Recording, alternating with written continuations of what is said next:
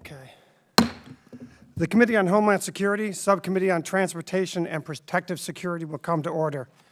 Uh, Let me apologize for my delay tonight. This is my, I think, my third or fourth meeting already today, so I'm already behind, and I apologize for that. Uh, The subcommittee is meeting today to assess the Transportation Security Administration's preparedness for the approaching peak summer travel period. I now recognize myself for an opening statement. The summer months have historically seen an increase in aviation travel this year, and this year is no exception. Following a record-breaking 2018 spring travel season, the warmer temperatures of summer are expected to draw even bigger passenger volumes. In fact, TSA is preparing for its busiest travel season ever and expect to screen more than 243 million passengers and crew from Memorial Day through Labor Day. That's a stunning number. We've seen this situation before in 2016 when unprecedented passenger volumes overwhelmed checkpoints across the nation. Many people miss flights due to wait times in excess of 75 minutes, although some reports contended that wait times were closer to three hours. Passengers shared photos and anecdotes online of seemingly interminable airport security lines and the hashtag I hate the wait united disgruntled passengers across the country. History has a way of repeating itself, and TSA currently faces pressure from Congress, the public, and aviation stakeholders to avoid past mistakes. Therefore, the purpose of this hearing is to evaluate TSA's preparedness to accommodate the demands of this year's peak summer travel. TSA's preparedness ultimately ensures the security of the traveling public, but efficient checkpoint operations also bolster the free movement of people and goods, which brings in billions of dollars to the U.S. economy each year. Conversely, as evidenced by the 2016 wait time crisis, the checkpoint can also be the choke point that prevents the aviation sector from functioning seamlessly. This in itself can prove to be an adverse security scenario in a time when threats to crowded spaces of public areas are an increasing concern. In short, all roads lead back to the checkpoint, which is why this hearing today is so important and so timely. While a variety of factors may have negatively impacted operations at individual airports, we can point to three major errors that helped to generate a perfect storm in 2016. First, TSA's staffing allocation model did not accurately represent the unique needs or true operation conditions of individual airports. Compounded with a pervasive transportation security officer staffing shortage and high, uh, high attrition rate, miscalculations prevented TSA from responding promptly to, increase in, to increases in passenger wait times. Second, deficient communication between TSA and stakeholders resulted in missed opportunities to share flight schedules, staffing plans, and facility changes in real time. Third, TSA significantly overestimated the amount of passengers who would receive expedited screening by way of trusted traveler programs like PreCheck or Global Entry. Specifically, TSA assumed that 50% of passengers would use expedited screening, but only about 27% of passengers used expedited screening in 2016, and we've got to work on that. Last Congress, the House and Senate passed my bill, the Checkpoint Optimization and Efficiency Act, to address the gridlock at airport checkpoints throughout the United States and boost enrollment in TSA PreCheck. I look forward to discussing how this legislation has impacted enrollment figures and how TSA plans to continue their expansion efforts. We're nowhere near where we need to be, and we got to get better at it. While TSA has come a long way since the wait times crisis in 2016, I would be remiss if I did not acknowledge the similarities between the conditions today and the conditions two years ago. Passenger volume continues to grow by about 4% a year, and TSA's staffing has not kept pace. Despite TSA's concerted efforts to recruit and retain quality TSOs, the TSO attrition rate continues to be troubling and has a direct impact on the availability of screening lanes at airports. In turn, the limited availability of screening lanes translates to longer checkpoint wait times and an increased reliance on expedited screening measures to facilitate throughput. Lately, despite vocal disapproval from this subcommittee, TSA has been granting pre-check status to passengers who have not enrolled in the program in an effort to reduce congestion at checkpoints. I myself have personally witnessed this on many occasions. I've repeatedly expressed to TSA that pre-check should not be used to manage traffic, especially under the guise of risk-based security. In the near future, I will be introducing legislation to ensure that pre-check lanes are available only to pre-check passengers in pre-check or another trusted traveler program. Pre-check, when used as designed, is a valuable tool that enables TSA to assess a passenger's risk to aviation security prior to their arrival at an airport checkpoint. By providing expedited screening to pre-vetted populations, TSA can direct additional TSOs to standard lanes to screen unknown travelers. PreCheck and other trusted traveler programs, when used as designed, not as currently implemented, are undoubtedly some of the best tools in TSA's toolbox. However, TSA's efforts to increase enrollment, participation in the PreCheck program has stagnated after reaching nearly 6 million travelers. Undoubtedly, many passengers are frustrated by TSA's frivolous practice of merging non-enrolled travelers into pre-check screening lanes and disappointed in the limited availability of pre-check lanes at many airports. The efficient operation of airport checkpoints, combined with effective management of the pre-check program, go hand in hand when it comes to the overall security mission of TSA. That is why I am pleased to have two distinguished panels here today from both the public and private sectors, representing a diversity of perspectives on this issue and I look forward to hearing from them on how we can move all forward uh, in a collaborative spirit to provide better, more efficient security to the American people. I would like to thank Mr. Darby LaJoye and Mr. Bill Russell, who, uh, as well as our second panel, for appearing before the subcommittee today to discuss this important topic. I am pleased to recognize the ranking member of the subcommittee, the gentle lady from New Jersey, Ms. Watson Coleman, for her opening statement. Good morning and thank you, Mr. Chairman. Thank you for holding this hearing, and I want to thank the witnesses uh, for both panels for agreeing to uh, be here today.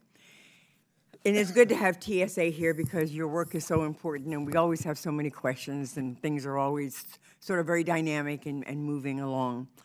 TSA has, however, had a long struggle with how to most efficiently and effectively manage its resources.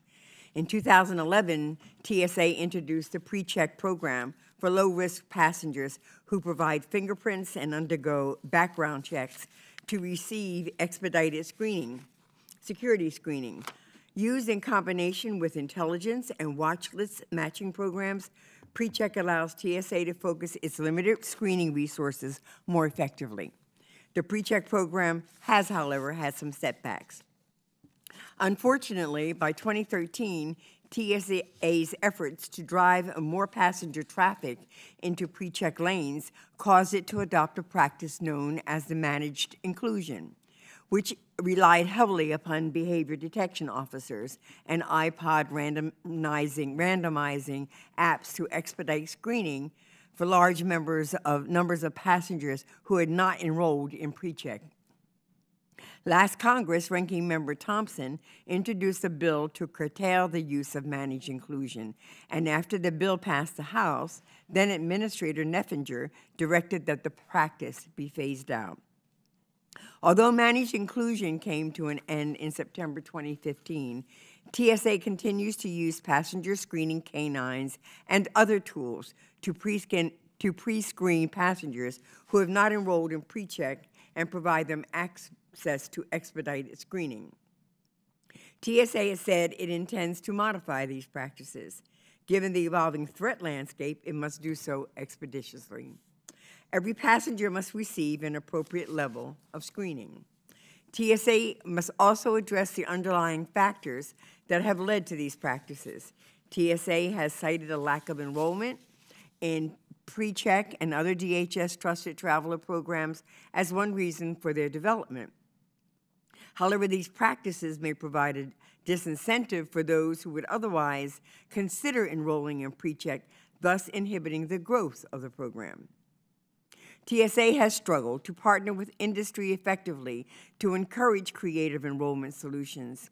As the agency withdrew a request for proposals in 2016 citing cybersecurity concerns.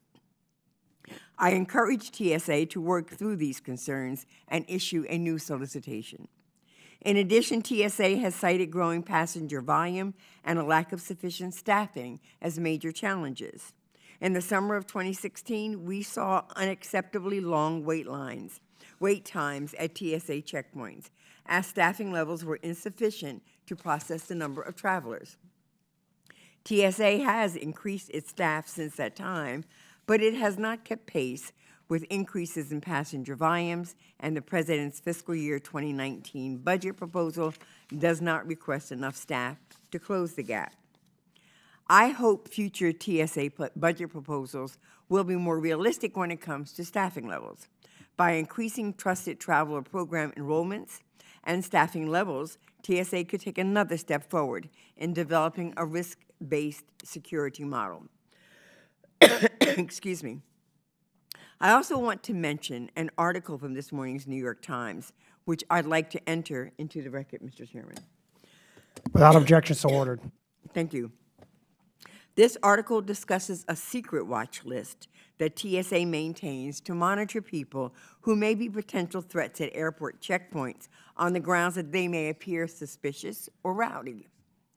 I look forward to hearing more from TSA about this watch list as I am concerned about the civil liberty implications of such a list. Finally, at a hearing where we were, are discussing passenger volumes with travel industry experts, I would be remiss if I did not note some disturbing trends in recent travel data. While domestic travel continues to increase, the same cannot be said of international travel to the United States. According to the Department of Commerce, in just the first three months of the Trump's presidency, nearly 700,000 fewer foreign travelers visited the U.S. than normal, representing a 4.2% decrease and a loss of $2.7 billion in spending. Over the first nine months of 2017, U.S. arrivals dropped by 1.4%, despite international travel increasing worldwide by 4.6%.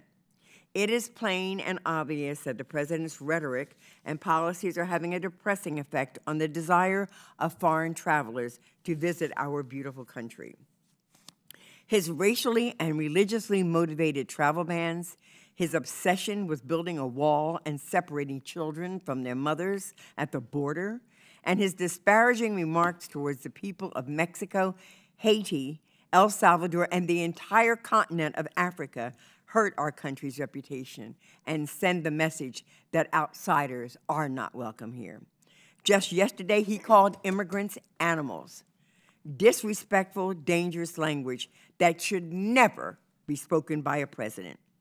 Tourism represents the seventh largest employer in the United States as international travel supports 1.2 million American jobs, accounting for $32.4 billion in wages. I look forward to discussing with our travel industry witnesses that are here today how the president has put their industry at risk. Again, I thank my chairman and our witnesses for coming, and I yield back the balance of my time. Thank you, Ms. Watson Coleman. Other members of the subcommittee are reminded that opening statements may be submitted for the record. We are pleased to have two distinguished panels of witnesses before us today. Let me remind the witnesses that your entire written statement will, be, will appear in the record. On our first panel, we are pleased to have Mr. Darby LaJoye, the Assistant Administrator for TSA's Office of Security Operations, here to testify before us today on this critical topic. In his role as Assistant Administrator, Mr. LaJoye oversees airport checkpoints and baggage screening operations, regulatory compliance, cargo inspections, and other specialized programs designed to secure transportation. Previously, Mr. LaJoye served as a federal security director of Los Angeles and was responsible for Los Angeles International Airport, Ontario International Airport, and Palm Springs International Airport, with intermodal responsibilities throughout Southern California and Hawaii.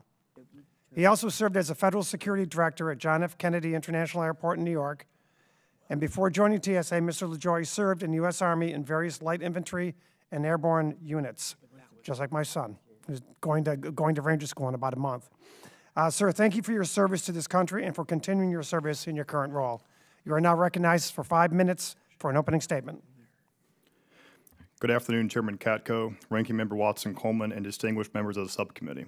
Thank you for the opportunity to appear before you today, along with Mr. Bill Russell of the Government Accountability Office, to discuss the Transportation Security Administration's approach to the upcoming summer travel season and TSA PreCheck. As the Executive Assistant Administrator for Security Operations, I'm responsible for overseeing the TSA's frontline employees who are charged with ensuring the free movement of people and commerce while safeguarding the traveling public from a determined and dynamic adversary. Last year's terrorist plot in Australia reminds us of what we have known for some time the threat to aviation is as real as ever. Current intelligence indicates that commercial aviation remains a top priority target, and our adversaries continue to educate their followers on building and concealing explosives to evade checkpoint security measures. Meanwhile, a pattern of less sophisticated techniques and tactics has also emerged. In short, attacks today may be sophisticated and well planned, with a goal of causing massive global economic impacts, or impromptu acts with little preparation other than the desire to inflict damage and create fear.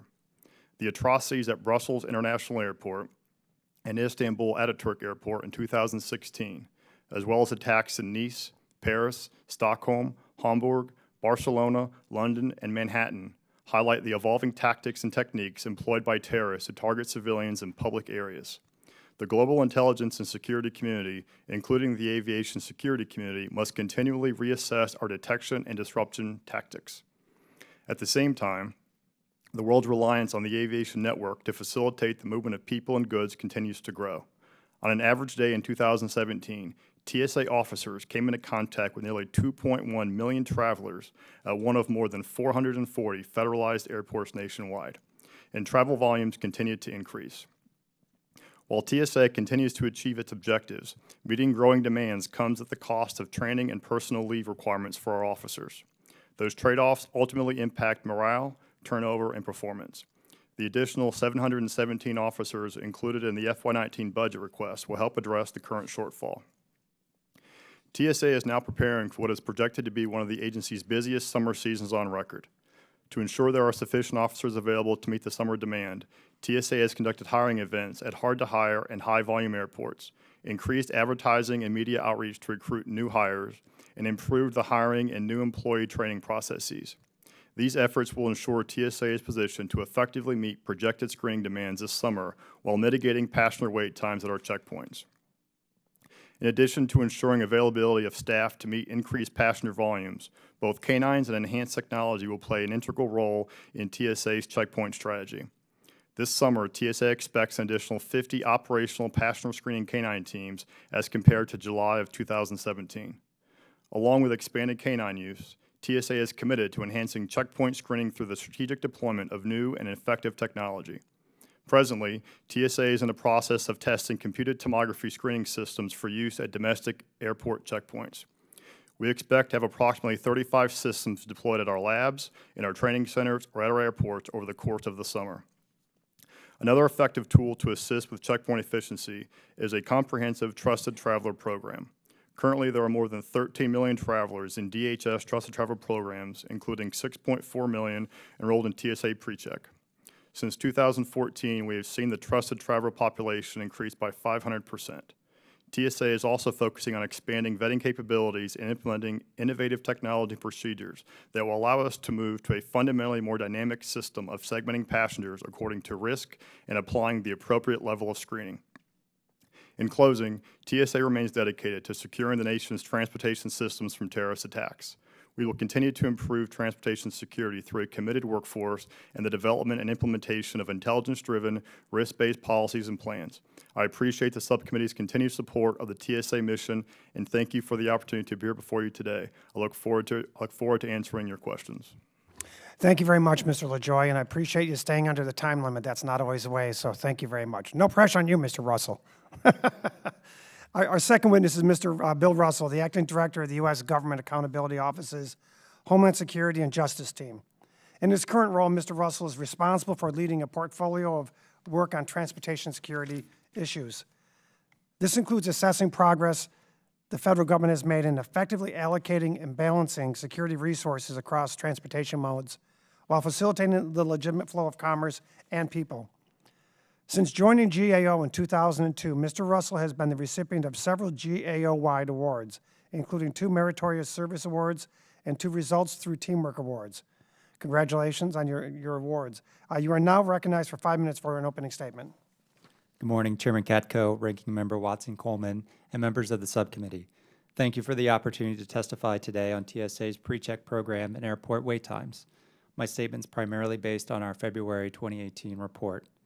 43,000 transportation security officers, TSOs, across 440 airports screen 2 million or more passengers and their baggage each day. TSA's primary responsibility is to ensure security, but it also strives to balance safety with the efficient flow of passengers through the screening process. An inherent challenge in TSA's mission is taking the time necessary to do the job right and moving passengers through as quickly as possible. With an increasing number of travelers and the busy 2018 travel season underway, it is critical that TSA get this balance right. The TSA standard for wait times is under 30 minutes for standard screening and under 15 minutes for pre-check or expedited screening. Our review of airport passenger wait time data from 2015 to 2017 showed that TSA met those standards 99% of the time. We found that TSA collected data to monitor passenger wait times and throughput and had tools to respond to increases when necessary. In particular, TSA's Airport Operations Center, AOC, monitored wait times and passenger throughput hourly from 28 airports that make up the majority of passenger throughput nationwide. Our analysis showed the value of TSA collecting and monitoring near real-time data. For example, prior to this approach, during the spring of 2016, we found that long screening queues in excess of 30 minutes occurred across those 28 busy airports. The AOC was created during that period in May 2016 to help address wait time issues. Since then, each operational hour, wait times are collected in all open lanes at the 28 airports and reported hourly to the AOC. The AOC also holds a daily conference call with key stakeholders such as airlines and airport officials to help identify challenges. The net result is that wait times average below 30 minutes um, at the 28 airports from June 2016 to May 2017. To better manage long lines, we found federal security directors at airports noted they can use a number of tools such as overtime and moving TSOs from less busy lanes to congested ones. Effective use of expedited screening or pre-check can also impact wait times. Since pre-check passengers are considered low risk and require less screening, increases in pre-check enrollment allow TSA to screen passengers more quickly. Over 2014 and 2015, however, GAO and the DHS OIG reported concerns about the security effectiveness with a pre-check process called managed inclusion, in which standard screening passengers are randomly selected for pre-check. In response, in November 2015, TSA modified its risk assessment rules for pre-check, which reduced the number of passengers automatically designated as low risk.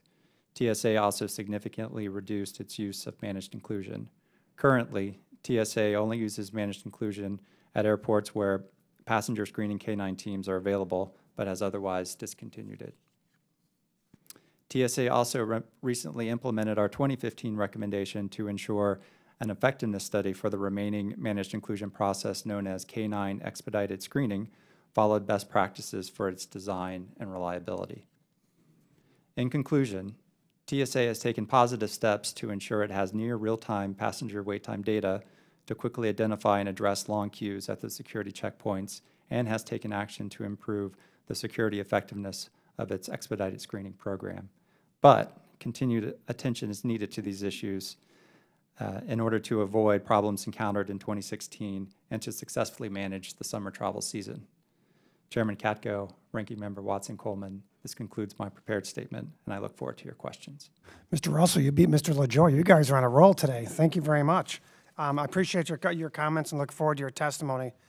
Um, the chair now recognizes myself for five minutes of questions, and uh, I'll, I'll, pose this to both of you because I'd, I'd, appreciate both your takes on this. Uh, I'd like to know, uh, uh, well, a couple things. First of all, concerns that I have, and I've articulated these concerns, and they're nothing new. But um, two things. One is the goal has always been to get pre-check around 20 million people, and it really seems to have slowed down.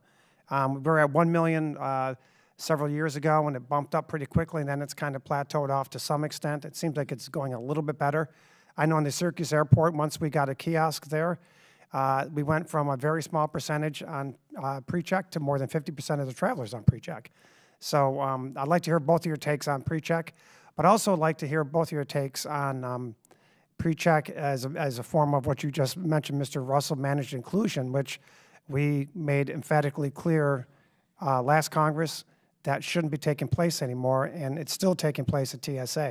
And the concerns we had back then about managed inclusion was that they are not, it's not risk-based security. It's just, it's just moving people through. Now we understand, and that's what the genesis of this hearing is today, is to have a discussion about, are you ready for this crush coming this summer? But as a backdrop to that, I don't want it to be an over-reliance on managed inclusion type practices, which we are going to end by law, because that's the only way I think we're going to be able to stop you guys from doing it. So, uh, and we're going to set a, we're going to give you a time limit in the bill that we get passed that says, uh, by after this time, no more of this stuff, because we can't have it. It's, it's, a, it's a security gap in our minds. And we're, and, uh, we've asked you many times not to, and you still do it. So now we're going to tell you by law you can't.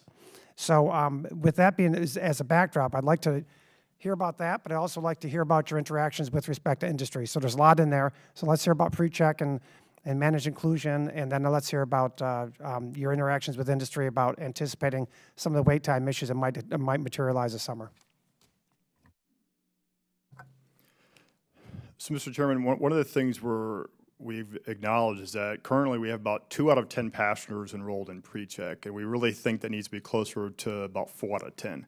Um, now, that may seem like a fairly modest goal, but we also understand that because of the frequency by which these are business travelers and leisure enthusiasts, they represent far and away the majority of all the passengers. And we still think, we're still convinced that there's about 66% of these people still aren't enrolled in these. So we've really focused on a couple of different key areas. Um, the first is just the fantastic partnership we have with industry. Um, if you get on an airplane today, you're going to see pre-check marketing materials available in in-flight entertainment systems and in-flight magazines. You'll see our bookmarks um, and, and, the seat backs, as well as a number of companies that are making this part of the rewards programs for, for banks and et cetera, credit card companies. Um, recently, our our vendor has announced that state 50 Staples locations throughout the country, they'll have TSA enrollment centers present. We also understand that one of the biggest barriers to enrollment is simply going to where the enrollment center is. We have 350 enrollment centers around the country, 41 of which are in airports. And I think that's where the partnership we have with CBP is so critically important. And both at the very senior levels of both agencies, we're looking very aggressively at where we can look at combining both enrollment centers as well as uh, combining a common portal where you know somebody can go to one online system and, and sign up for either TSA PreCheck or or global entry. Um, so we think in, in total, the things are going to have a positive impact in growing the PreCheck populations. Uh, if uh, Syracuse can maybe use as an example, like I said, once you put it in, they used to be up in Oswego, which is 45 minutes north. You had to drive up on crappy roads just to get to the Border Patrol station to sign up for pre-check. When they got it in the airport, it went up to more than 50% of the passengers. I don't understand why they don't just put it at airports. I, again, Mr. Chairman, I think that's that's something that we agree we're looking very closely at. I think both TSA and CBP can um, realize some efficiencies in, in, this, as well as making the process much more seamless for the traveling public. That's absolutely something we're endeavoring towards. Okay, and lastly, just quickly, then I'm going to hear from Mr. Russell. Um, what have you done to interact with the private sector to anticipate wait times this summer? Well, uh, yeah. So I mean, any success we're now having is because of partnerships with industry. Just the sophistication we see in our models is because we have near constant communication with the airlines. We get their volume forecasts. In advance of the summer, I was just last week um, meeting with a number of the associations as well as the airlines. Over the next two weeks, I've got meetings planned with all the major air, air carriers to go over their hub operations, make sure that we absolutely have the very best plan, you know, given some of the schedules that they're seeing. So very intense focus on working directly with both the associations, the airports, and the air carriers. Yeah, it's a critical because I think Memorial Day weekend's right around the corner. Yes, sir. And I know that because I have about 15 parades that weekend. But uh, from your standpoint, it's a high travel time, so I, I hope you get with them. So, Mr. Russell, please, uh, your, your response. Certainly, just to pick up on the coordination with industry stakeholders, that's one thing we saw in our recent report that um, especially the daily conference, call, conference calls that are held now between some of those stakeholders and uh, the Airport Operations Center, it's a chance to surface challenges that may be emerging and help to um, address those. Uh, so we receive positive feedback both from the FSDs we talked to as well as some of the key industry stakeholders. Uh, transitioning to pre-check, certainly uh, going through the, the known enrollment or, or, the known travelers and increasing the enrollment process is, is the key those are the trusted travelers that have had the most vetting. Um, so the closer TSA can get to that uh, 25 million goal by 2020, uh, the better. Uh, is, that, is, that achievable? I mean, that, it would be awesome if they did it, but is that really realistic? When we when we last calculated the numbers back in December 2018, it, it, it seemed it was about 1.9 million applicants uh, or enrollees. And then when you counted the uh, trusted traveler groups, that brought it up to about 8.8 million. So that has been an ongoing challenge to go from that level up to the, the 25 million target. What do you think needs to be done? We haven't looked specifically at that issue, but, but certainly whatever you can do to make that process easier um, and to, to vet and encourage the, the groups like active military, DoD civilians to take advantage of that opportunity, the better. What, what if, what if at, uh, there's 450 airports nationwide, what if at the vast majority of airports they had a kiosk? What do you think that would do? I, I'm not sure. We didn't look specifically at that. I think it would blow the lid off it. But- I think, yeah, I think you'd get a lot more people signing up. It's pretty simple to me. Um, All right, anything else, sir? Uh, just one thing on the managed inclusion. That's something uh, in our past work we've had concerns as well. Um, our understanding now is that has been limited to passenger screening K9 teams. Um, in our most recent work, the FSDs pointed that that was a very effective way to help manage the queues. Um, our recommendation along those lines was basically to do a study to look at the security effectiveness of that process, and our understanding is TSA has done that. You know, I fully believe in the canine process, and Mr. Rogers told me I had to, but, uh, no, but I fully believe in it, but I do think that when you pay for a service, and that service is based on risk-based security, that people shouldn't be coming into that and, uh, you know, violating that service area, because first of all, it's, it's not right, but second of all, far more importantly, from a security standpoint, uh, we are diminishing our security.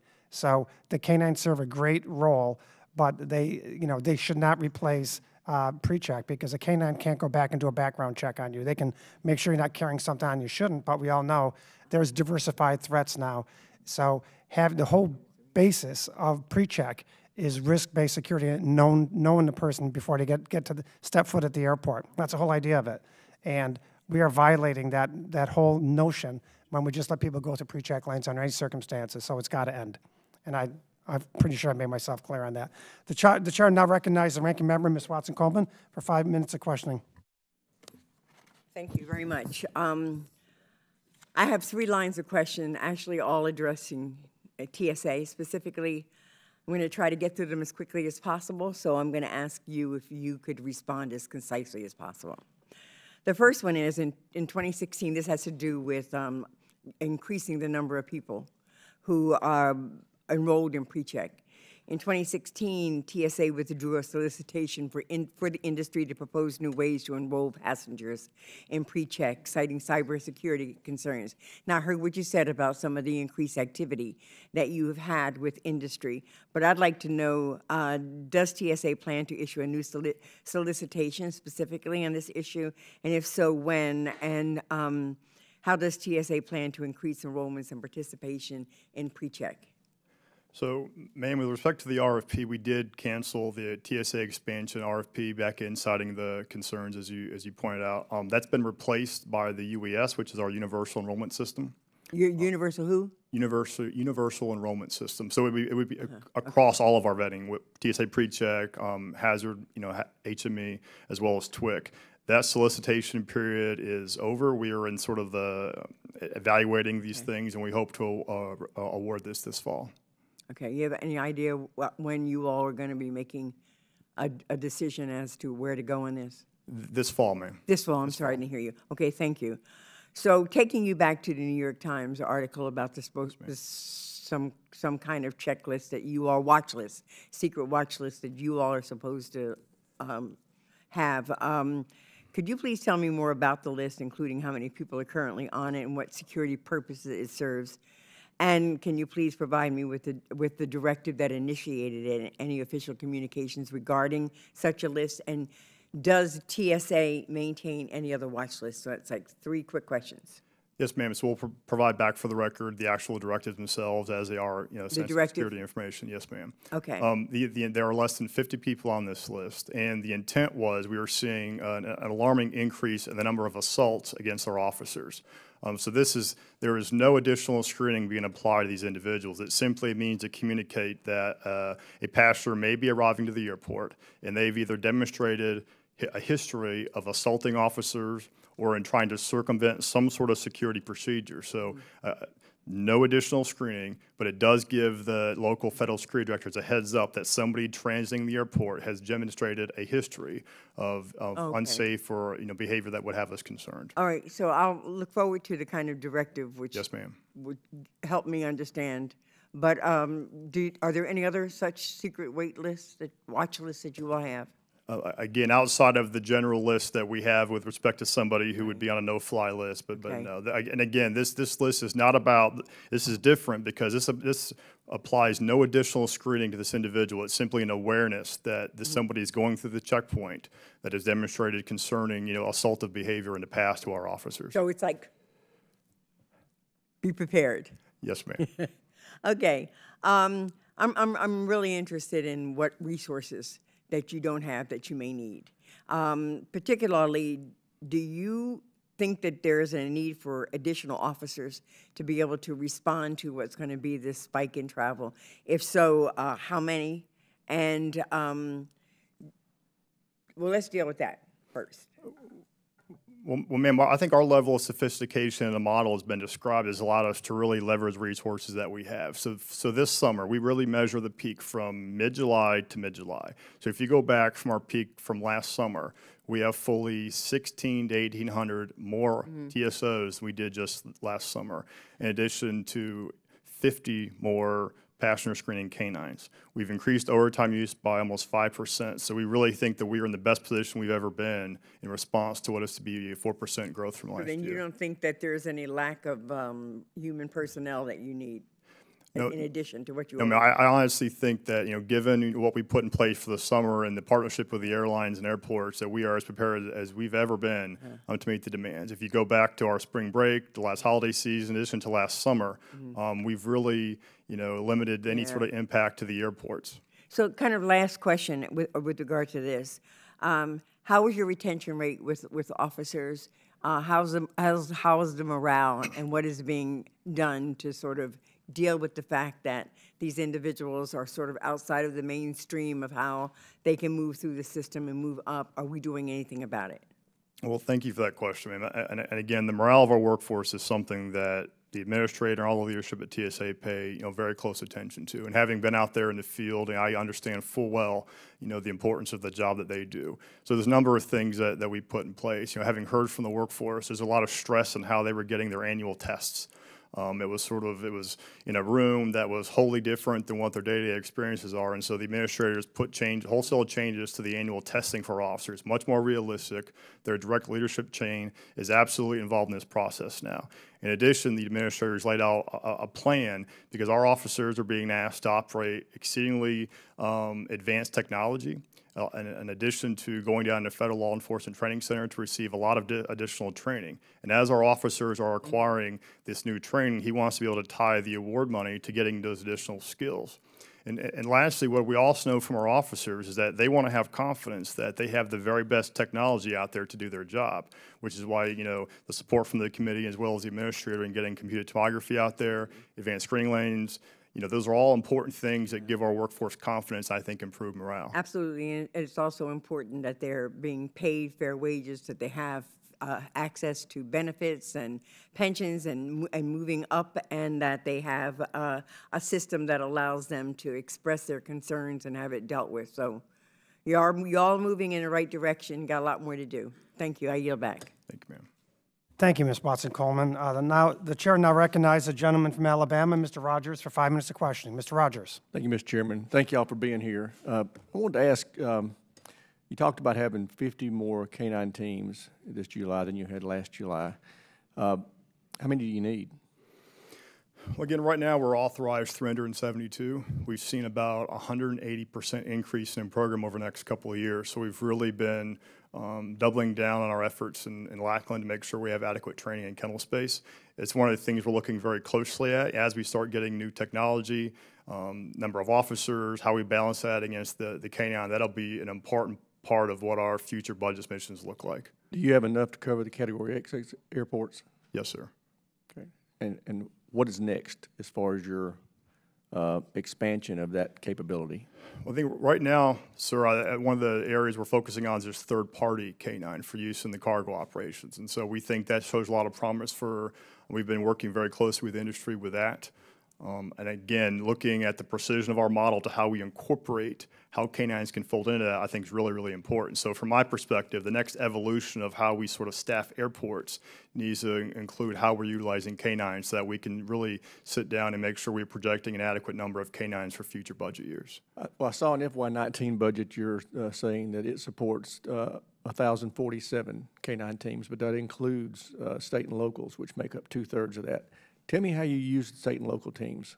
Well, they're, they're critically important to us. I mean, as you pointed out correctly, I mean, fully two-thirds of those teams are from our state and local Are partners. they, are they explosive detection K-9s? Yes, sir. Are they trained through the Lackland program or a similar program? Th- Those are all TSA dogs, sir. So yes, they really provide a lot of this, you know, public area, you know, patrolling unattended bags in airports. We work very closely, um, issues in cargo warehouses. We really rely heavily on our state and local partners with the use of the canines to, to mitigate some of the public areas of the airports. When, uh, do, have y'all made a determination as to when you will achieve the threshold of K-9 teams that you feel are adequate to meet the national needs? I, think What is that number? I, I still think that's something we're looking at. So I, I, I, again, that's really the next evolution of where I think we take our staffing and scheduling models is that, you know, we're still fairly new to the passenger screening business. As you pointed out, about one third of the teams are in use in passenger screening. Um, so as we mature our model, we really have to understand with new technology, how many dogs we think we really, really need to manage the airports. Uh, Describe for me exactly what K-9 expedited screening is. Is that managed inclusion? N- No, sir. Um, How does it differ? Again, as described earlier, the managed inclusion two that was in use, you know, several years ago involved the use of the BDOs, and it was very correctly pointed out, a randomizer of some such. Um, our use of the dogs is enhanced screening. Um, again, we believe very well that the dogs are very effective in, as a deterrent as well as for sniffing for explosives. And so we, we are very confident that when the dogs are in use, that substantially mitigated many of the concerns that we have, and we feel that we can afford those passengers, all of whom have been screened for explosives, a more expedited process of going through the checkpoint. However, we view dogs as an additional layer of security, not a replacement for anything. Well, I want to ask you, you said those passengers, you mean those passengers who are not pre-checked or in another trusted traveler program? The passengers that are screened by the K-9, sir.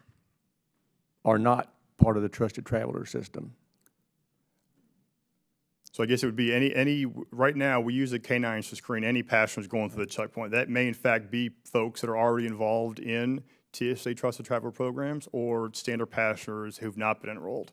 We believe, again, that we may see a dog either screening passengers who are enrolled or passengers who are not, because we view them as an additional layer of security, not a replacement. Yeah, and that's the thing that, that I think we were concerned about coming in today is, is, uh, we had the, uh, perception that y'all may have developed a new category where you were gonna just use the canines as the primary, uh, layer. And it should just be one of several layers that you have employed to make sure that these folks that don't need to be putting bad things on airplanes uh, are able to do it. Yes, sir, and we agree. Let me ask this, uh, Mr. Russell, you made the point, you said canine expedited screening does meet best practices standard.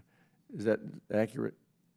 The design of the study that they did to determine the effectiveness of that approach. You felt like that, that was designed right. to be an effective way? We had concerns initially measure, I that, guess. that it wasn't going to align with um, things like randomizing the airports selected and sort of the scope of the review. Um, And TSA took action to, to make sure that the study they did conduct met uh, that, that I sort see, of criteria. I. Uh, And last question I had, Ms. LaJoye, you said uh, about sixty-six percent of the people that you believe should be enrolled in pre-check uh, are not. And, and did I understand that you think the reason why is because it's just inconvenient for them to find a location to, to sign up? That's Not the some- hundred dollar fee, it's just inconvenience? The 80 $85 fee, sir. Uh, we- really honestly think that the biggest barrier to is just the enrollment process, finding a place to go enroll. That's what some of our market research says. We really think there's still lots of opportunities, even for those folks who fly five to 15 times a year, which would really be for that, ta- that target passenger segmentation. We really think there's still a lot of room for us to target those people for full-time enrollment. Yeah, I, I agree. I- when I entered Global Entry, uh, when I, to go and do the interview part, You know, I had to go to the Atlanta airport, to the farthest terminal. It was very inconvenient to do that. I, I do think that more people would go into that, which would get them into pre-check, if we could find a way to make those interviews more convenient, because all the questionings are done online. Yes, sir, and and in fact, one of the things, we're, we're coming up on the five-year period for folks who sign up for pre-check very early on, and so we're putting forth a plan for those passengers to do so online without having to go back to an enrollment center. So we also think that's important in keeping people that are enrolled, keeping them enrolled. Right, right. Um, and again, pointing back to the really, really critical work we're doing in CBP, because we- all agree that if we can merge programs at enrollment sites and an online portal, we really think that's going to have a positive impact on the passenger and, and a positive impact on the overall growth of all DHS trusted driver programs. Great, thank you. I yield back. Yes. Thank you, Mr. Rogers. Uh, Before we go to the next question, I just want to note that uh, former Secretary of Homeland Security, Mr. Johnson's here today, and we saw him walk in, so welcome. Uh, It's very strange not to see you at the witness table, so uh, I I imagine that's the case, so uh, uh, welcome. And I will just make one quick observation that I made, two two observations. One is, if it's a question of convenience, put the kiosks at the airports and this, for, for pre-check. And the second thing is that um, uh, without betraying classified information, we know that there are some materials of a non-explosive nature that are are considered a lethal threat now that we have to account for. And, and I'm not sure the canines were going to be trained on that. If they, they have to be trained on that if that's the case. So we have to keep that in mind as well. And that's yet another reason why only pre-check should be pre-check. Uh, with that, I'd, I'd like to welcome Mr. Estes from uh, Kansas for five minutes of questions. I'm sorry, Mr. Keating for five minutes of questions. Excuse me, from Massachusetts. Thank you, Mr. Chairman. Uh, It's great to see uh, you here, Mr. Secretary, again. Uh, Ms. LaJoye, thank you. And uh, as a Celtics fan, uh, it's always great to have, gives me a great feeling that anyone named Bill Russell is in front of us. So uh, thank you, Mr. Russell, as well. Now, listen, just quick, couple of quick follow-ups. That list you have, that was the 95 list, I guess it was called in the Times, or it's under 50 people. There's no reason any employee should ever have to put up with assault, particularly in such a stressful job, and uh, gives me a time to comment on how great my experience has been seeing those people work under tough conditions. But uh, I want to just, say- those 50 people, or under 50 people, do they know they're on this list? I'm not sure if they do or not, sir, but again, any passenger would have the right to go back through DHS trip, you know, if they want. But, but they don't know if they're on the list. So I would think it'd be more effective if these people, as a deterrent, uh, knew they were on the list. I think, I think you should, should, you know, look into that.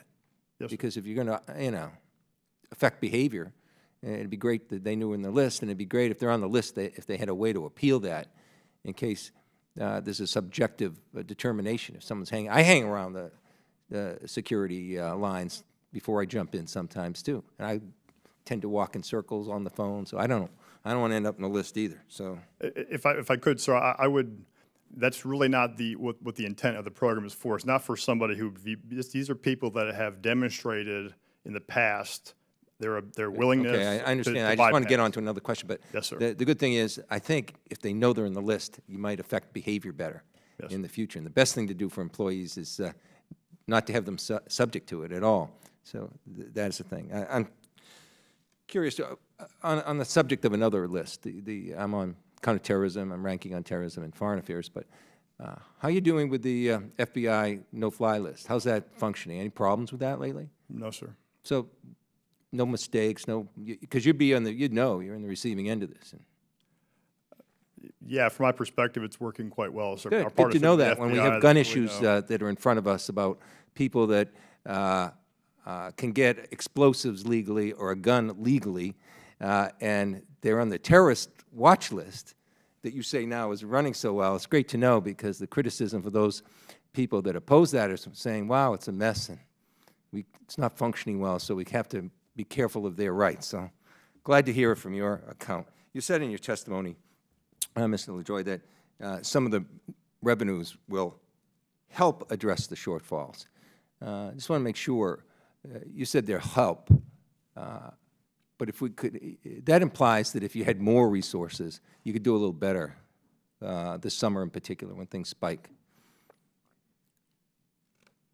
Any, com- Well, well, sir, what I I just wanted to qualify your words. Yeah, well, so what I'd point out is one of the things that we're very aware of is that about 45% of the largest airports, they have one or more checkpoints that are capacity constrained. So there are a number of places where even if we had more officers, it's not likely to mitigate sort of any wait time issues, which is why the work we're doing with the airports is so important. So as as they are expanding the airports, we're monitoring things very, very closely. But for, for this summer, with fully 1,600 more officers than last summer, I, I really do honestly feel that we're in the best position to meet this summer demand. Yeah, we had a meeting with some of the airline industry, I think last year too. Uh, one of the things that's difficult, uh, that makes your job difficult, is the configuration of the airports themselves. They're different. Uh, anything that can be done uh, to help along those lines, or anything we could do? This is a good chance for you to uh, reach out for some help from us. Uh, I'll give a lot of the the airports a lot of credit. They are wholly involved. I, I know of virtually no airport that's not in the middle of major construction to make sure that they are in fact adding capacity. A number of the airports and airlines, you know, especially for the summer, are getting their employees out there to make sure they're communicating with passengers if there has been a change.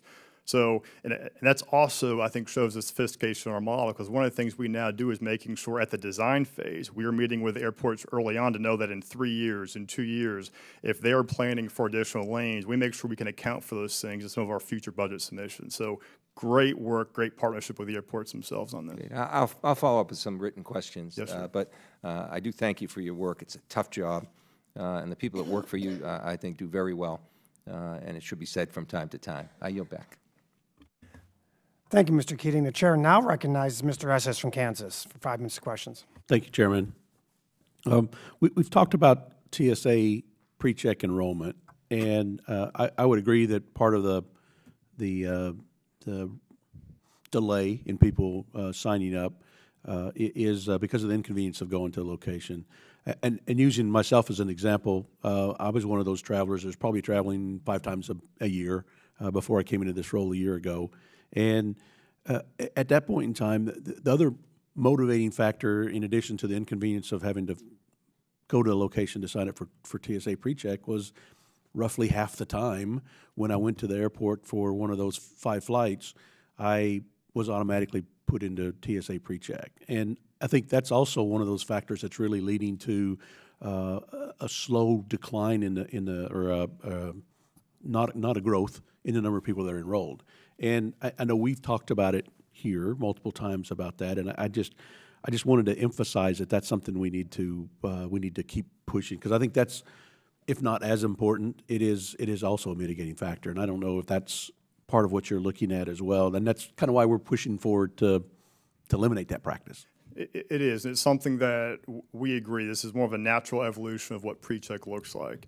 Um, and, and I remember well the experience from 2016. So I, I think it's important that we sort of balance the capacity constraints of the airports, um, the growth of the TSA trusted travel programs, in addition to what that staffing looks like. But I, but I do agree that it's something we have to, to very, very closely consider given what um, we're facing in the world today. We really don't want to, you know, result in large crowds of people being in front of the airports. But, but I agree fully and understand the committee's concern with this. And it's something we're very much focused on trying to improve.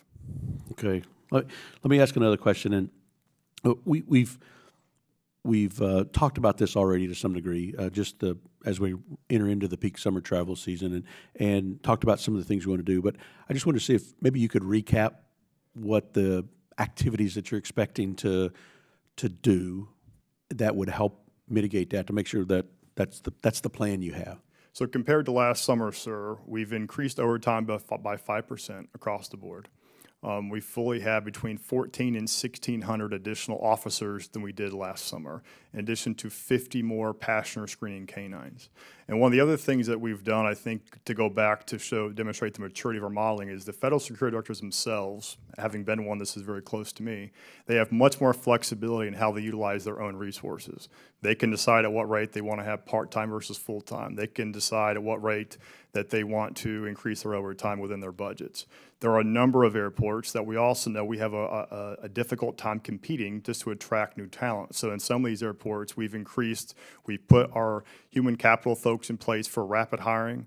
We are onboarding double what we were. We're onboarding almost 600 additional officers a pay period. Um, and there are some places where we are really having a difficult time. We've offered some temporary incentives to attract people to come work for TSA. So it's really been a concerted effort over many, many months to make sure that everybody, all the leadership at TSA, is focused on supporting those front lines in addition to the great partnership we've been having with the airports and the airlines. So I, I, I guess my only comment that I would add to that is, is, um, I mean, what I've seen over the last few months, I, I think the, the wait times are relatively fine in most of the, the airports that I've, I've flown through. Uh, but my concern is as we, we increase the peak travel amounts, that we're going to run into problems with that. So I wanted to make sure that uh, those uh, activities got engaged and, and done in time for us to use this summer. Yes, sir. Uh, thank you, Mr. Chairman. I yield back.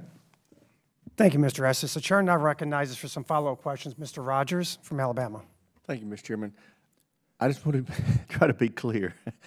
I'm still not clear on the K-9 expedited screening uh, and its, its application. My understanding was that you were using it for people who were not in pre-check, that you needed to move a little faster, but they were going through the standard screening, but in kind of an expedited lane, as long as K-9s were added as a layer to that lane. Is that not what it is?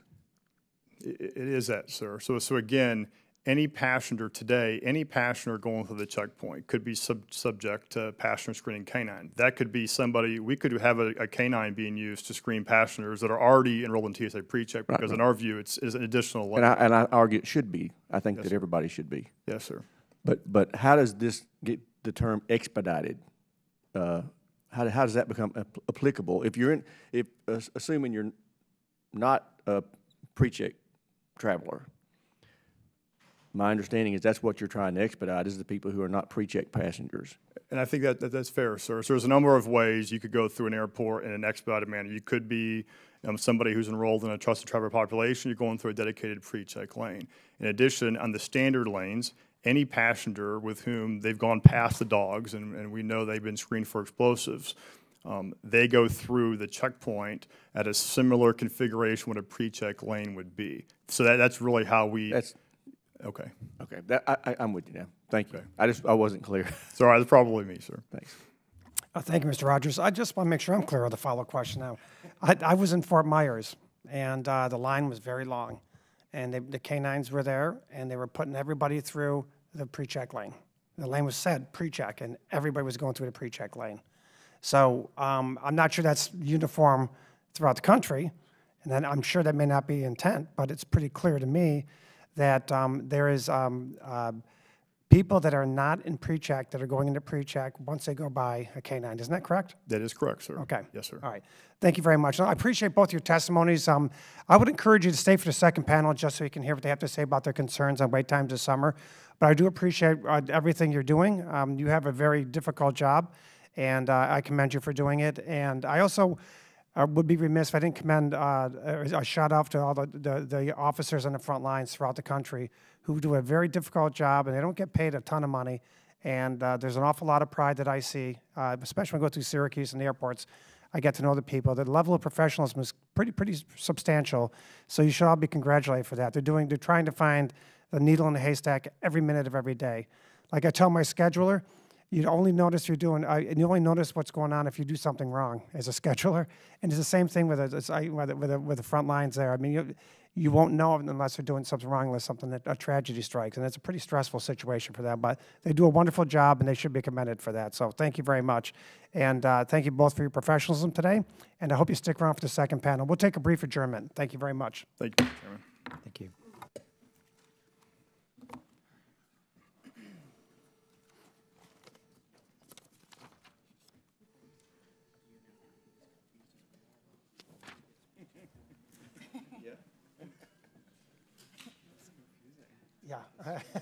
See? Yeah, right. About as sharp as a marble.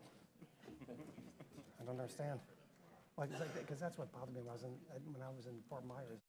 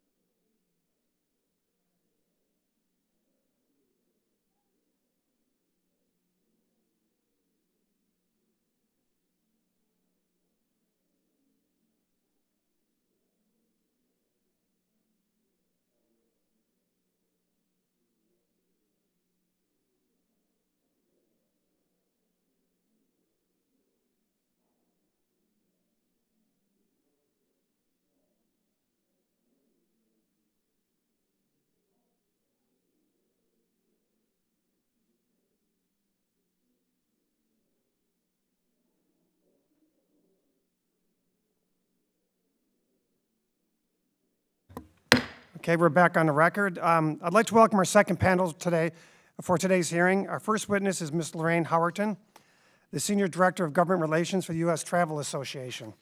In this position, she's responsible for outreach to advance U.S. travel's legislative priorities in Congress and for representing the organization on the Aviation Security Advisory Committee, which has really turned into a wonderful organization doing a lot of good work.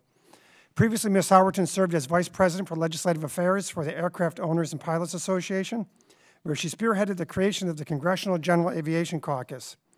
Ms. Howerton is now recognized for five minutes for an opening statement. Good morning, Chairman Katko and uh, members of the committee. Is this better? Oh, much better. Good morning, Chairman Katko and members of the committee. It's my pleasure to uh, offer testimony to, uh, for you this morning. And thank you for the opportunity to allow me to testify on behalf of the U.S. Travel Association.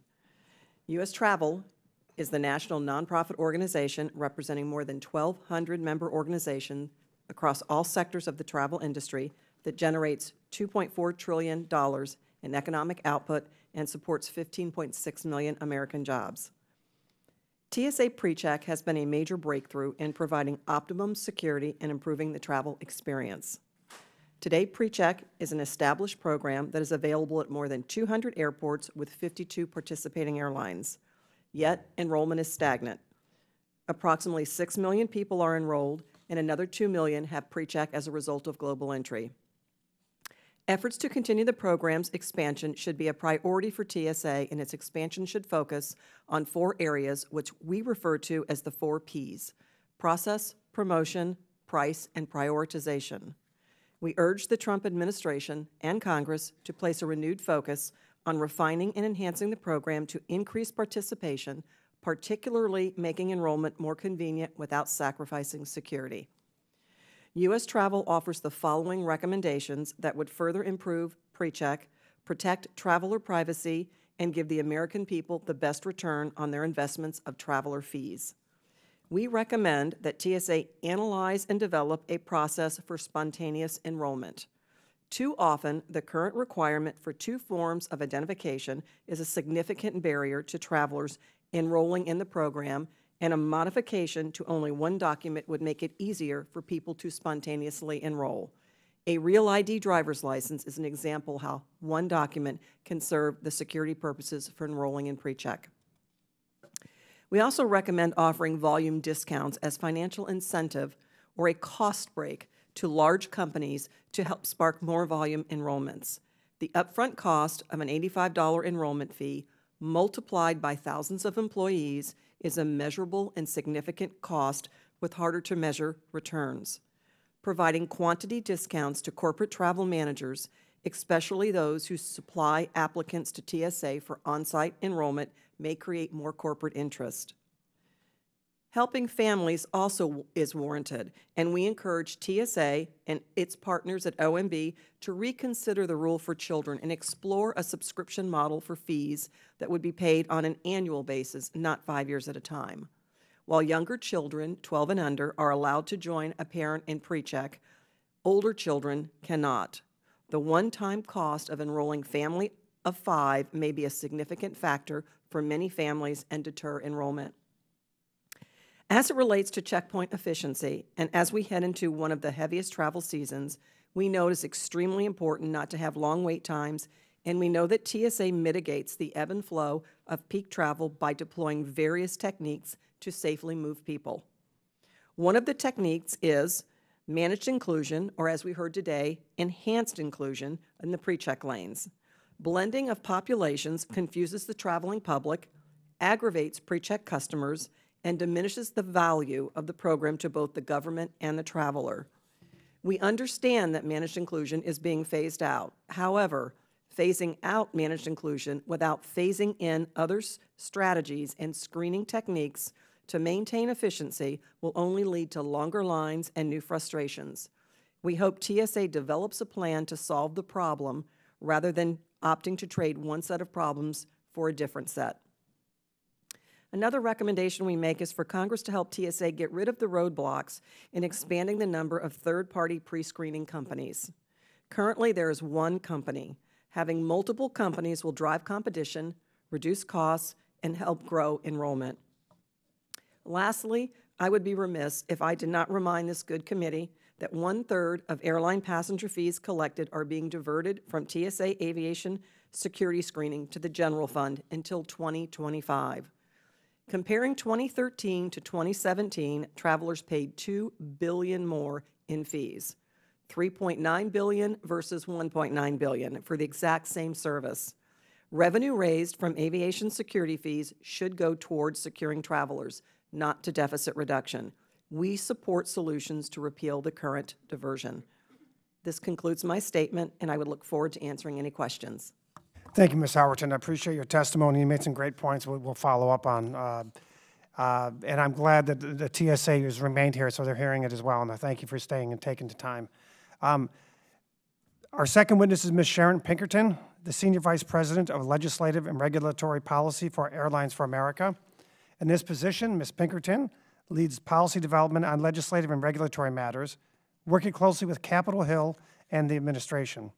Before joining A4A, she served as an assistant administrator for aviation policy, planning, and environment at the Federal Aviation Administration. Prior to her time at the FAA, she served as transportation counsel to House Aviation Subcommittee Chairman John Mica. You're dating yourself. Just, Ms. Pinkerton is now recognized for five minutes for an opening statement. Thank you, Chairman Katko. We appreciate, thank you so much, Chairman Katko. We appreciate the opportunity to be here today um, to talk to you about these important issues. Um, My, my real message to you all today is really to say thank you. I think that as a result of your work, TSA's work together, uh, partnering with airlines and airports, we are cautiously optimistic that TSA is ready for the summer travel. 4% growth, it's significant. Now, the reason for the caution and in my optimism is that we haven't forgotten what happened in 2016. We've talked about it here today. There was a terrible uh, DHS IG report. Um, TSA ratcheted uh, the dials on the security equation in one way without adjusting staffing and other processes. And we did end up with three-hour wait times, and I think that's something none of us want. Um, so our lesson learned is that actions have consequences. Um, now, that's why, Chairman Katko, we're supporting your idea of transitioning away from using canines and rules to put non-pre-check passengers into the pre-check lane, as long as that's coupled with the other side of the security equation, which is, as we discussed, getting more people into the pre-check lane, or this other idea that I'd like to start putting on the table, which is having another vetting procedure in place that will enable some form of known travelers to have a different experience, not necessarily the pre-check experience, but a risk-based security experience. Said another way, I think we have to start by understanding that staffing isn't the be-all and end-all. It's one very important part of the puzzle. Commend TSA for getting us up to somewhere between 600, 1,600 more F- FTEs year over year. But it's really important that we actually look at this as a process and improving our security processes, and very importantly, deploying, deploying better technology. So it's with that big picture that we're making the following recommendations. I want to talk about pre-check first. If we all agree that we don't want to put non-pre-check passengers into the pre-check lane, the question that's still on the table is how do we get those pre-check numbers up? We are not on a path right now to meet the 25 million that TSA had. First, I think we all need to recognize that for some reason, despite Chairman Katko's legislation and the legislation embraced by this subcommittee, the third-party enrollment program has not delivered. I'm not quite sure how it's gotten all bollocksed up, but I think you need to get to the bottom of that. What I'd like to think about is what, what can we do, putting that aside for, for the moment? We heard Darby mention it a little bit. TSA and CBP need to merge their trusted traveler programs. We've got two programs out there, two sets of infrastructure, two sets of locations. We need to merge those where it makes sense. Instead of having TSA and CBP compete, let's combine resources and have one simple, easy-to-use application process. I think that working together, TSA and CBP are going to be able to make signing up more accessible. Darby mentioned moving toward mobile enroll- enrollment, we should be there today. We're living in a mobile society. There's no reason for us not to have mobile enrollment. Let's make those enrollment centers more location-friendly and not so far away, and the schedule needs to be something other than eight to four. All the ideas that Lorraine talked about, about some fee incentives for families and big groups, make a lot of sense. Let's move on to some other ideas. We believe that if Congress truly believes that 99%, or let's even say 95% of the traveling public is not the problem, we're really looking for that small percentage of people that are a problem. We need to start thinking differently about the pre, the, the, the, the checkpoint. Um, we believe that passengers who may be willing to submit commercial, uh, uh, data and subject themselves to a different level of, level of vetting, maybe not as far as the pre-check level of vetting, but something that's easier and faster, can get a different experience, perhaps using dogs, the managed inclusion, et cetera. That's one way to achieve some efficiencies. TSA and CBP need to start working together on biometrics.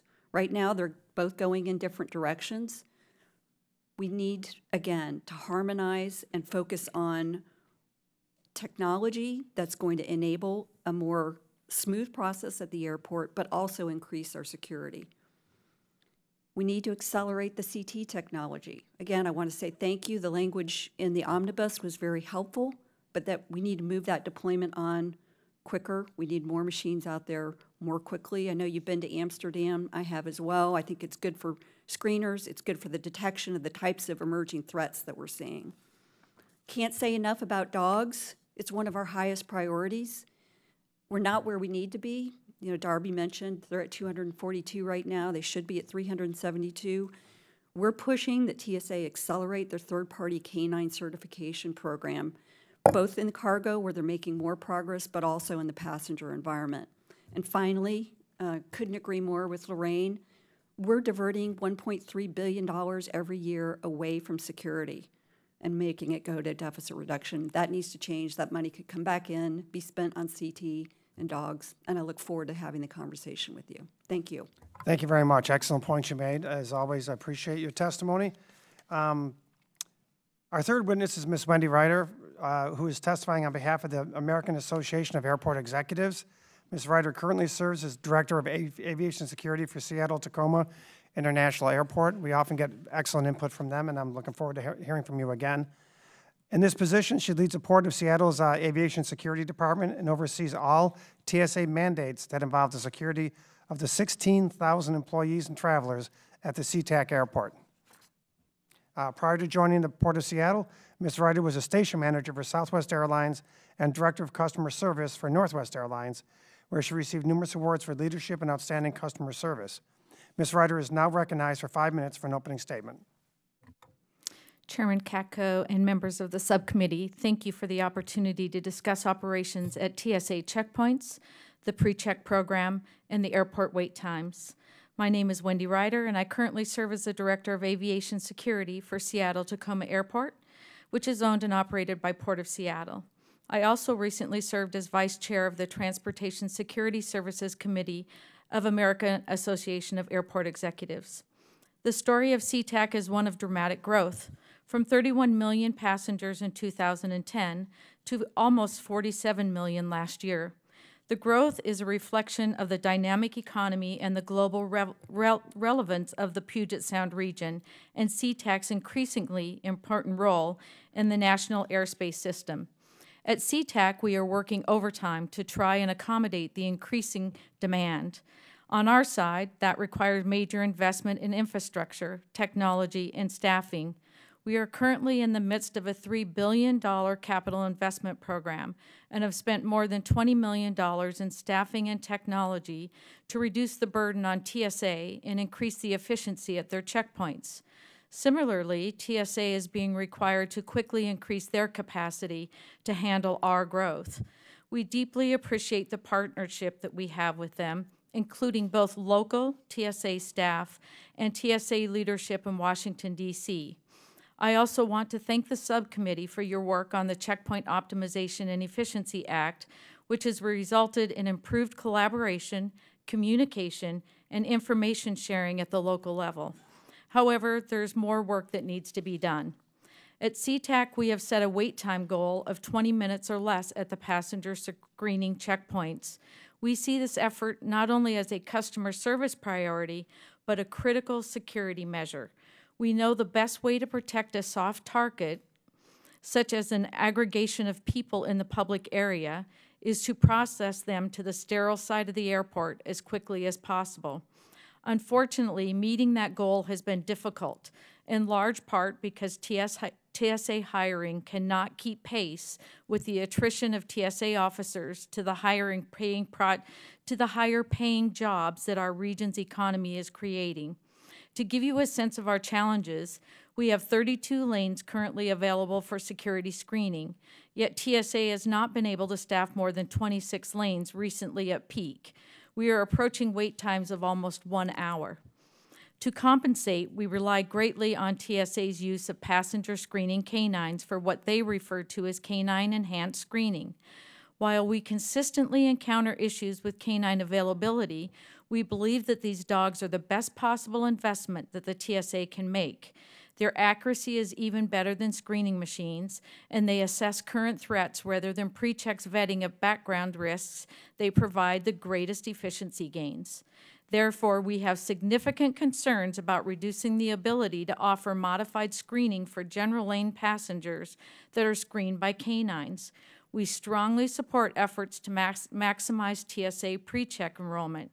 However, we know that one of the biggest threats to airports and passenger security is long wait times that create soft targets.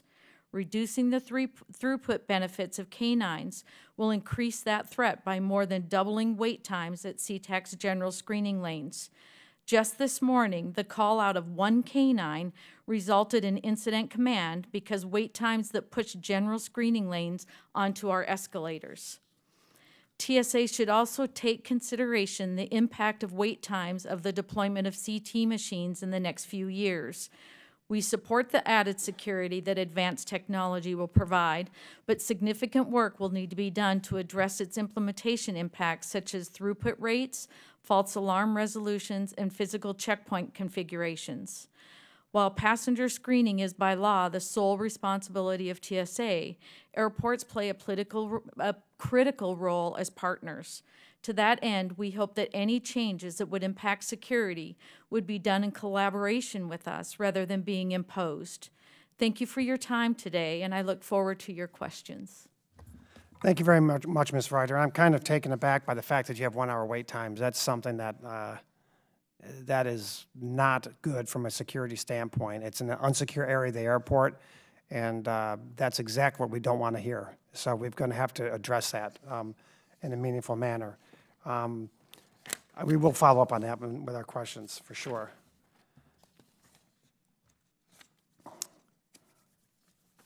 Say the next witness here is um, Mr. Michael McCormick, Executive Director and Chief Operating Officer for the Global, Global Business Travel Association. In his current role, Mr. McCormick leads GBTA's growth and globalization initiatives. Previously, he served as managing partner of Hudson Crossing, LLC, a travel industry advisory business. McCormick has also served as president of BizTravel.com and vice president of global supplier relations for Rosenbluth International. Mr. McCormick is now recognized for five minutes for an opening statement. Thank you, Chairman Katko, uh, Ranking Member Watson Coleman, um, and members of the subcommittee. We appreciate the opportunity to testify today. Um, I'm Michael McCormick. I'm Executive Director and Chief Operating Officer of the Global Business Travel Association, a role I've been in since 2009.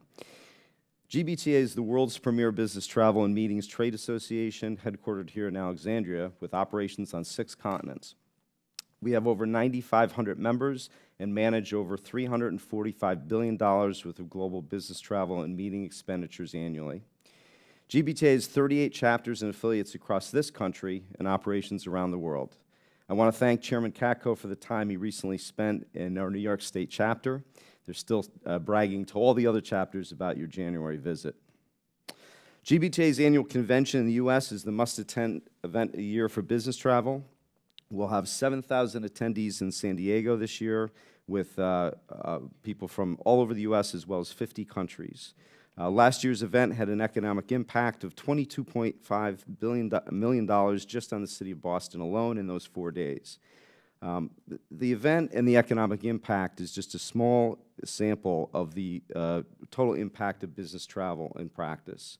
And although we're a global organization, we're celebrating our 50th anniversary as the U.S. Trade Association here uh, in Virginia.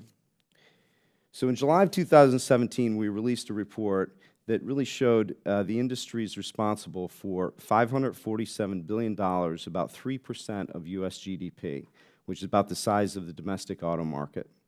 We support 7.4 million jobs and $135 billion in federal, state, and local taxes. You know, we always say that business travel drives business growth. Companies invest in business travel to drive new business, create new jobs, and build shareholder value. But as this busy summer season ramps up, we're concerned, as all of you are, about the past travel problems and screening, as well as past statements and policies on foreign visitation, and the impact that has not only in 2018, but beyond. Secure and efficient travel is a key platform in our legislative policy. We've been a supporter of PreCheck since the first iteration of registered travel, uh, traveler, and because business travelers take over 500 million domestic business trips a year in this country alone. But our surveys cite that moving through airport security is one of the largest pain points still to this day. Um, PreCheck clearly offers travelers a risk-based intelligence, uh, you know, intelligence-driven aviation security that's safe, fast, and efficient.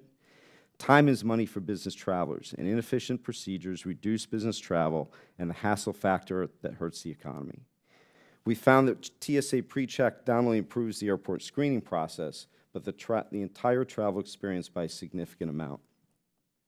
However, the current practice of allowing non-TSA PreCheck members into the security lines continues to be voiced frequently as a concern by travelers enrolled in the program. It's our belief that this continued practice undermines the impetus to enroll and calls into question the entire premise of the program, which is pre-screening travelers through, uh, who through background checks have been identified as safe before they arrive at the airport. We need to put an end to this practice. GBTA fully supports the work done by the committee to limit uh, those not only cleared for pre-check to be allowed in those lanes, and GBTA is prepared to support new legislation to prohibit the practice. As we saw in summer of 2016, TSA pre-check cannot be the sole answer to long security lines. In GBTA's opinion, accurate travel forecasts, well thought out policies, and solid analysis of historical data, like our own Business Travel Index, are key to TSA's ability to adequately staff checkpoints. Our most frequent findings show that U.S. origin business for travel is expected to accelerate significantly in 2018, advancing 6.1%, followed by roughly 7% growth in 2019 and 2020. Business travel gains have not reached this level since 2011. But also in these findings is an unusually high impact of many global uncertainties. The Global Economic Policy Uncertainty Index, which began in 97, has hit a all-time 20-year high. We're at a time of conflicting and sometimes seemingly contradictory views on how the business travel marketplace is trending and what the future holds. On one hand, as lower corporate taxes are pushed forward and business regulations are rolled back, some would argue that business travel is healthy. But other underlying factors have decidedly more negative impact on the future of business travel, including trade policy renegotiation, terrorism, travel and immigration bans, sanctions, electronic bans, and geopolitical tensions. GS, GBTA is concerned that this uncertainty, along with ongoing rhetoric and policies, will send the message that the U.S. is closed for inbound global business. This dampening of demand for the U.S. as a business travel destination could cause a lasting negative economic impact that is masked in the near term by offsetting economic policies. This began with the current administration's first travel ban, which cost $185 million in business travel bookings in just one week. Then with a second, then a third ban followed, which is awaiting ruling from the Supreme Court, driving further uncertainty. There's no question that uncertainty is bad for business travel and bad for our role in the global economy. When we looked at our uncertainty forecast last year, the impact that it was having was significant. We projected a loss of $1.3 billion in overall travel-related expenditures in the U.S., which includes hotels, food, car rental, shopping, all the ancillary expenses. That included $250 million lost in spending from inbound travelers from Europe and the Middle East alone. Finally, our new forecast coming out will be out in August, looking at not only last year's total numbers, but the impact going forward. So looking forward, um, again, we're really concerned about all of this as it affects meetings and business travel. When you're looking at those, that planning that business, it's planned one to two years out, and we will only begin to see the impact of these decisions this year. So again, it goes without saying that GBT strongly supports all of our efforts to keep the skies, borders, and country safe. We continue to be a proponent for expanding proven security programs. I think a lot of the discussion that we talked about here today is so far and the questions coming forward, I mean, we have opportunities. I think there's been buy-in from TSA at the top, but not always the action we're looking for. So again, we have to find ways to look at the cumulative effect of all these policies and again, create the change the rhetoric and the perception that the U.S. is closed for business. Um, GBT stands ready to improve the travel process and to make sure that this becomes a reality.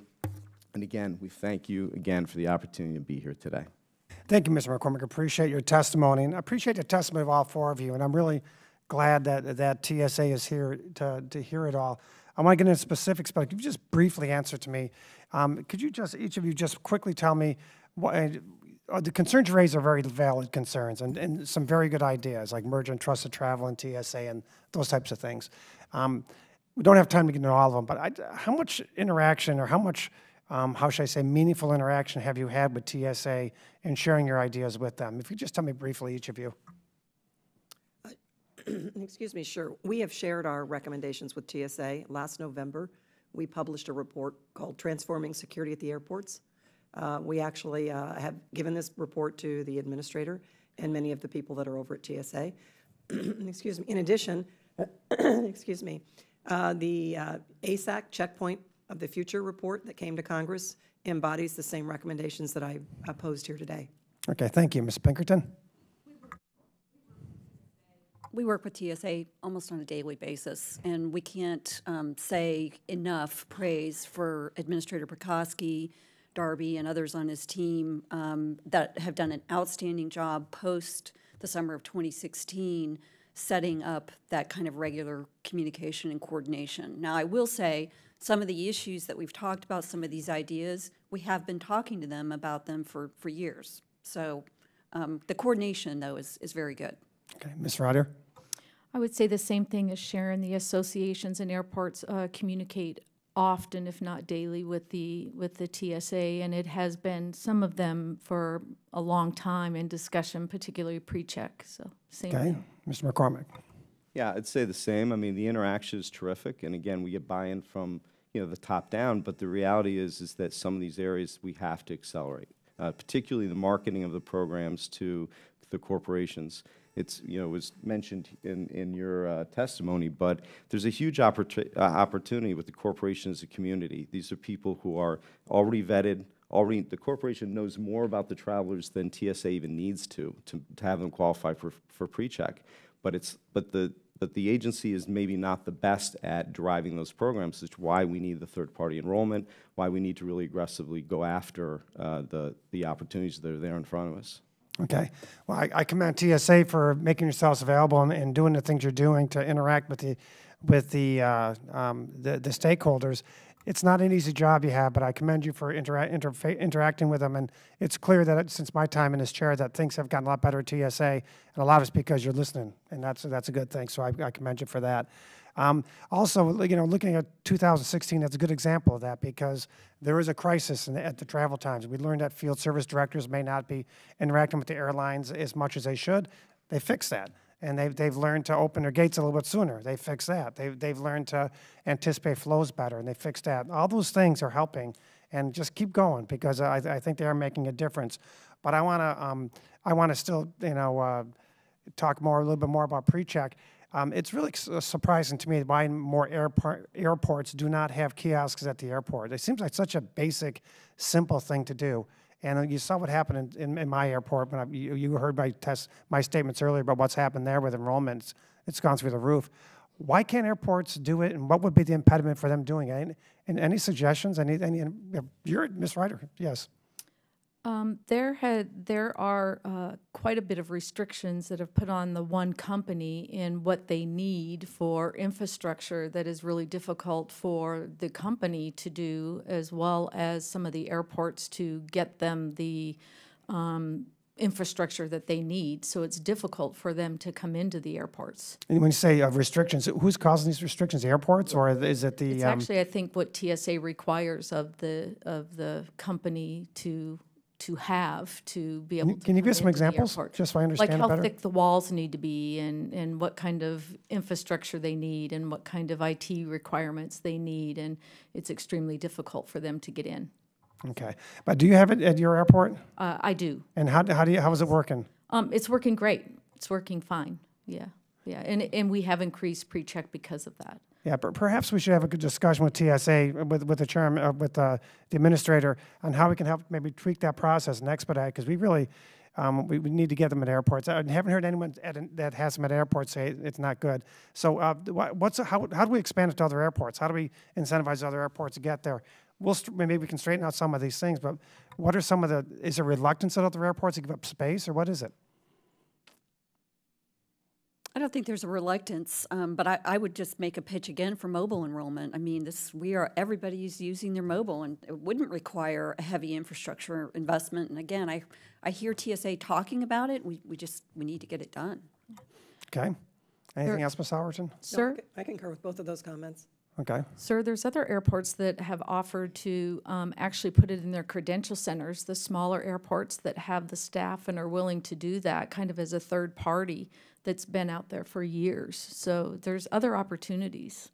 Yeah, because it seems to me the key to, to uh, anticipating, like Mr. McCormick said, the, the increase in travel, I mean, the projections are 30% more tra- air travel in the next decade or two. We got to be ready for it, right? And if we don't have pre-check uh, and we don't have ways to expedite the screening processes, we're going to be in trouble. And I think the canines is a good, maybe an intermediate way to do it. Um, but, uh, and that's definitely a way to do it, I think, but it's not a foolproof way.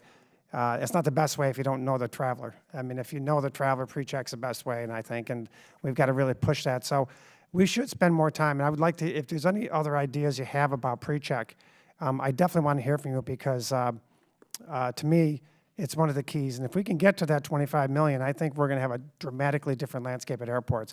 It really troubles me that why you have one-hour waits.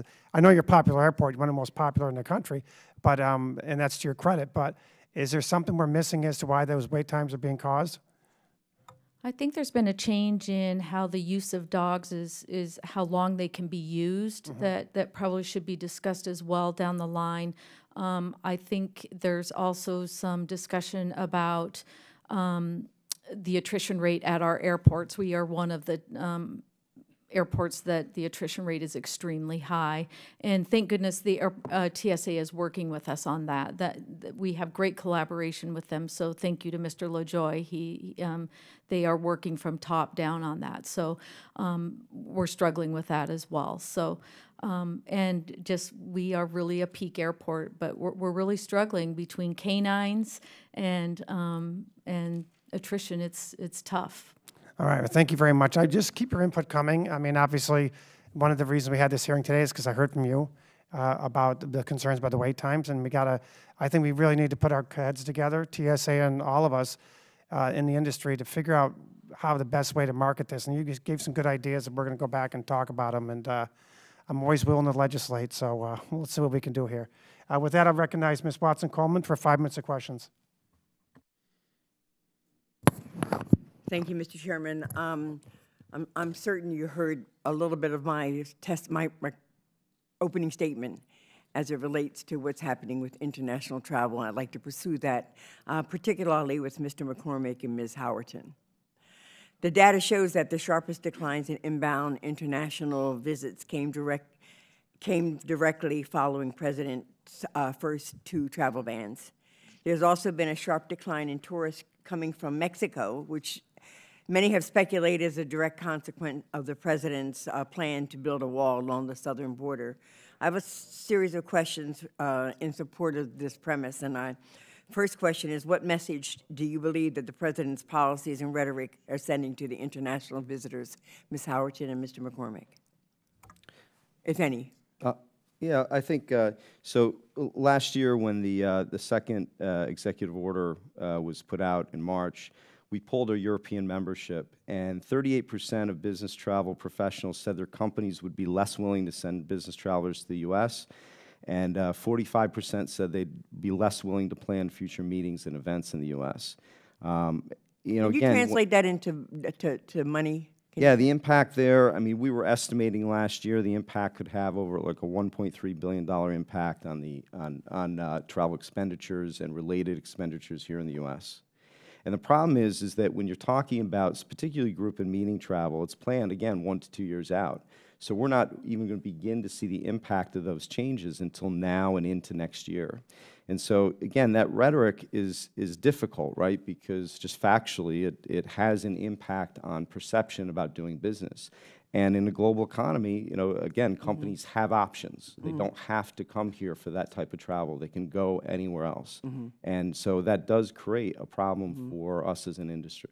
Okay, thank you. Ms. Howerton, do you have anything to add to the Trump slump question? Yes, I do. Thank you very much. Um, uh, Actually, the U.S. market share in international travel has been sliding since 2015, so it's not new to this administration. That being said, uh, uh, the fact that there is not a welcoming message and what we're hearing uh, through all of the other issues for international uh, visitation is hurtful uh, to continuing uh, uh, an incline um, in uh, international travel. Um, We do need the president's help. It's, it's pretty clear. Um, Robust tra- travel is both compatible with his priorities for strong security, and it's critical to the priority to, to grow uh, um, jobs. Um, So we're hopeful that uh, we will see an increase uh, once we get uh, some more movement underfoot for positive messaging. So do you think we're going to, well, okay, so you believe that this is related to some positive messaging? Has your industry been able to do anything to sort of express this concern uh, to the parties or party uh, principally responsible for the depression of um, international travel because of the rhetoric? Have you all like sought meetings with those entities or individuals who would um, who, who are responsible for this? Yeah, we, we actually are a member of a uh, uh, U.S. Travel Coalition, Visit U.S. Travel uh, Coalition, and it's a coalition of many members, both members that are within the U.S. travel footprint of membership and organizations that are outside of it. The primary purpose of this organization is to work with the administration on ways we can increase international travel, ways we can message it, ways we can impact uh, international visitors coming here and the jobs that international travel creates. So have you specifically been able to communicate to anybody in the administration representing the interests of this president, or even the president himself, uh, the concerns that, that have been raised uh, by the, the, the- the rhetoric, the negative rhetoric and how it's impacted possibly people coming from Mexico and people coming from other uh, places around the world? Have, have you, to your knowledge, Ms. Howerton, or you, to your knowledge, Mr. McCormick? We have had meetings with the, uh, with administration officials, yes, we have. And have they recognized the possibility of this being a problem and seeking to a course correction here? As if anybody has any control over the president's mouth. They had listened intently. Thank you. Mr. McCormick, do you have anything to share with them on that? No, I, I think on that front, I mean, again, we've also met with the administration and every, and, and anyone that will meet and listen because the importance of this issue. I mean, it is, uh, you know, it's critical. This uh, business travel drives the economy. And, Yeah. uh, and I, and I think there's a, there's an understanding that, of that, but I think, again, we have a lot more work to do to have that fully embraced in a way that affects uh, the way, the way work is done. While I have several more questions, I'm going to close with this question. Um, Like, I know this is, this is going, to this is impacting jobs, impacting spending, impacting our economy negatively. What is it that you think Congress can do to help to counteract the Trump slump's impact on uh, incoming international travel? I'd be interested in knowing. And with the answer to that question, Ms. Howerton, Mr. McCormick, anybody else that's at the witness table would like to uh, respond to that, I would yield back after that. Well, I would just say that I think you're doing it. I mean, this is a perfect example of uh, very good bipartisan efforts to address the issues that are affecting travel and to give us the forum to deliver the message. I mean, I, I, I- I think that uh, we could do more together. I think to have those meetings and to impress upon everybody about this importance. Again, we're all on the same side on this issue. I mean, this is, this is something that I don't think there's anything we're saying here that you would have an argument against. It, the tactics are the issue, right? And the enforcement is the issue. So, you know, last, que- last comment? That's fine. Um, While we're focusing now on international travel coming to us, there's also a question about whether or not we as Americans, businesses, whatever, um, are reluctant to go to do international travel because for fear that we're not liked anymore uh, as a result of this kind of rhetoric. And so that affects the industry in terms of hotels and, and, and things of that nature. And, I- and I think that that's something, this whole area is something that we need to explore a little bit uh, close, more closely in the upcoming future. And with that, Well, again, I, I mean, we'd welcome the dialogue because companies have a, a bigger obligation in terms of duty of care and risk management. We're sending travelers now all over the world to destinations to do business and to grow business. I mean, companies, every company is global these days. Every company has business and is looking for new business anywhere in the world. Yep. So, I mean, that we do have an obligation. We have an obligation as a country, right, to address the issues and to give the companies that are driving our economy the support they need. As our ally base seems to be shrinking, we need to be very careful preserving and protecting our opportunities internationally. Thank you, Mr. Chairman. I yield back. Thank you, uh, Ms. Watson Coleman. And I thank all of you for your testimony here today. Um, It's been very helpful and very thought-provoking, and my poor staff is going to get tortured with a lot of assignments now for, because of that. But I do, I do understand, and I appreciate the problem, and I appreciate the much better interaction with the industry than there has been, and I commend all of you at TSA for that. I commend all of you for keeping with it, because it's really important. And uh, the more we hear from you, the more we know what to do. So uh, I thank you for that very much. And um, before we wrap up, I just want to let you know that we have uh, the pre-check bill coming, and that will be coming in the next week or so? You Sure, okay, week or so. Yes. Um, Those are my bosses back here. But uh, they, uh, we- we're going to be getting that out, and uh, it's not to torture TSAs, but just to make sure we make it clear that pre-check means pre-check. But there's also things we can do to help expedite the program, and I think we can, I think the uh, the merger of, of the two uh, systems is a good idea, and some of the other things that we can do. So we thank you for that as well. And um, with that, I want to uh, thank all the members for your testimony.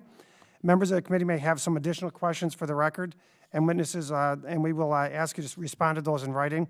Pursuant to Committee Rule 7D, the hearing record will remain open for 10 days. Without objection, the committee stands adjourned.